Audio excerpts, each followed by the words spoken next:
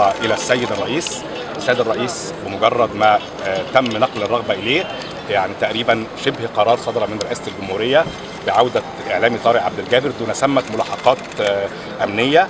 كان حصل تخوفات في الأيام ال- يعني بداية الأسبوع الماضي كان المفروض العودة يوم الاثنين آه، نتيجة يعني بدء حملة في الإعلام. فأجلنا السفر إلى النهارده ثم جعلنا تطمين ثاني ونهائي بأن كل الأمور مترتبة وإن مفيش أي مشاكل خالص ومفيش أي أوامر خاصه اوامر قضائية خاصة بطارق عبد الجابر. وبالتالي ها هو طارق عبد الجابر عاد وهي الدولة قد نفذت وعدها. أتمنى أن تكون هذه بادرة لعودة كل المصريين بالخارج الذين لم تتلوث أيديهم بالدماء أو أو يحرضوا على عنف ضد الشعب المصري أو ضد الدولة المصرية. شكرا. مبتدأ دوت